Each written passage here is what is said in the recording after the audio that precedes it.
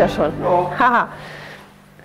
Hallo und herzlich willkommen bei TV Schatz. Heute möchte ich mal wieder einen Sekt probieren, beziehungsweise einen Piccolo natürlich, wie immer bei mir. Ähm, ich habe mich heute für das M&M'chen entschieden. Wie süß. es gibt ähm, äh, ja, das M&M'chen heute eben in der Variante extra trocken, beziehungsweise er ist nur trocken ausgebaut, aber bei M&M'chen nennt sich das ganz extra. Warum auch immer, ist halt so. ähm, kurz zur Firmengeschichte. Ähm, hinten auf der Flasche sieht man ja so ein Etikett. Ähm, Matthäus und Müller, das ist eben das M&M, also das M&M'chen. leider wurden die halt, was heißt leider, die wurden halt aufgekauft, auch von der Rotkäppchen-Gruppe und gehören, ich glaube, seit 2002 zur Rotkäppchen Mumm GmbH. Genau. Ähm, weder auf der Flasche noch ähm, im Internet wird man so richtig schlüssig, wie viel ähm, ja, Restzucker zum Beispiel dieses äh, M&M'chen hat. Also es ist ein trocken ausgebauter Sekt.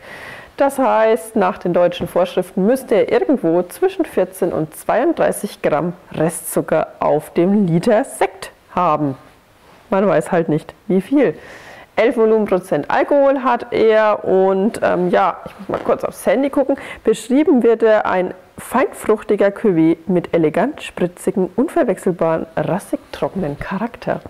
Da sind wir doch mal gespannt, was da jetzt ins Glas kommt. So. Das ist schon mal sehr schön und der prickelt auch gleich ganz schön, so wie das sein muss bei einem Sekt. Hui. Das ist immer dieses Bild. Hui. so.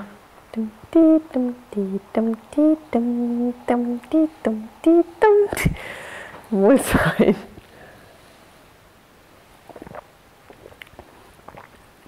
Ja.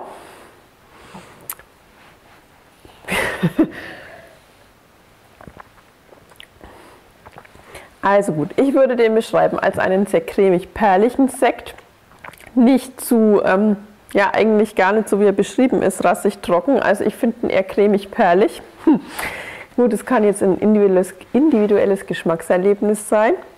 Aber ähm, ja, er ist trocken ausgebaut, das stimmt auf jeden Fall. Und er hat auch eine gewisse Rassigkeit, also so eine gewisse Bitternote. Das kann man auf jeden Fall diesen Sekt ähm, ja, äh, mit unterschreiben, das stimmt. Aber wie gesagt, ich finde ihn auch sehr cremig und perlig und ist auch mal was anderes. Wo findet man das schon in einem Piccolo? So eine gewisse Spritzigkeit, das kenne ich ja eigentlich nur, lass mich kurz überlegen, vom Fürst Metternich Chardonnay.